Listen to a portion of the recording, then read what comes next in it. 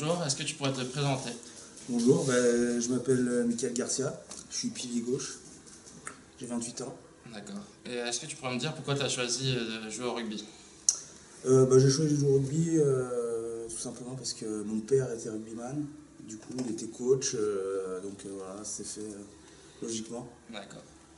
Alors, est-ce que tu pourrais me dire depuis quand tu es au club et sinon ton, tes clubs où tu as joué précédemment? Alors c'est ma troisième année au club. Euh, avant j'étais à Saint-Étienne où j'ai joué deux ans. Et ensuite encore avant j'étais trois ans à Lyon. D'accord, merci. Alors, est-ce que tu pourrais me dire une de tes expériences dans le rugby qui t'a marqué euh, Hum, Celle qui m'a marqué le plus c'est euh, la montée en Pro D2 avec Saint-Étienne. D'accord. Et alors, est-ce que tu peux me dire ce que tu exerces comme métier ou si tu suis des études en, en ce moment? Euh, j'ai un master première, enfin un master 1 en STAPS. D'accord. Donc pour l'instant j'exerce pas d'activité mais j'espère euh, après le rugby euh, travailler dans cette branche en tant que préparateur physique ou dans le domaine du sport. D'accord.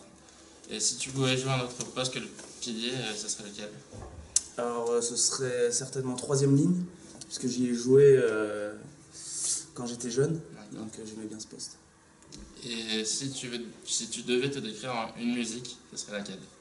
Euh, je sais pas euh, quelle musique pourrait me décrire. euh, te donner une musique en ce moment j'écoute bien Stromae. D'accord. Après je sais pas si ça me décrit vraiment. Et est-ce que tu as un film que- qui t'a marqué euh, depuis?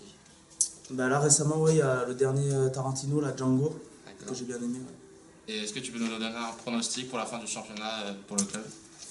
Bah dans l'idéal ce serait euh, premier ou deuxième, mais ce serait trop gourmand, je pense. la qualif déjà serait, serait super. D'accord. Bah, merci beaucoup et puis bah, à bientôt. Merci.